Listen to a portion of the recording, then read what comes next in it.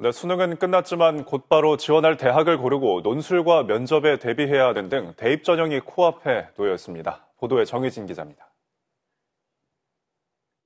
올해 수능의 가장 큰 변화는 처음 도입된 영어 절대평가입니다. 수험생들은 지난 6월과 9월 모의고사로 난이도를 가늠했는데 이번 시험도 비슷한 수준에서 출제된 것으로 분석됐습니다. 어, 6월하고 9월 중간 정도에 한 7%쯤으로 그렇게 미리 예상을 하고 있었는데요. 시험지를 이제 막상 받아보니까 어, 6월하고 좀 비슷한 8%를 초과하는 수준으로 어, 형성되지 않을까 그렇게 예상이 됩니다. 그렇지만 여태 상위 4%까지 주어졌던 1등급이 올해부턴 90점 이상이면 받을 수 있어 적지 않은 변수가 될 전망입니다.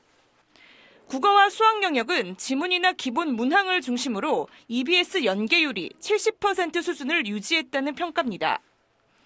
국어 영역은 비문학 부분에서 수학은 보다 높은 배점의 문항이 까다롭게 출제되면서 불수능 논란이 일었던 지난해 수능과 비슷한 수준이 될 것으로 분석됐습니다. 금년에는 이제 영어가 절대평가되면서 아마도 다른 과목에서 영어를 제외한 다른 과목에서 변별력을 확보하려고 하는 시도가 있었던 것으로 파악을 하고 있습니다. 올해 수능은 난이도가 전반적으로 높고 영어 절대평가가 첫 시행된 만큼 앞으로 남은 논술과 면접이 더욱 중요하게 됐습니다. KBC 정의진입니다.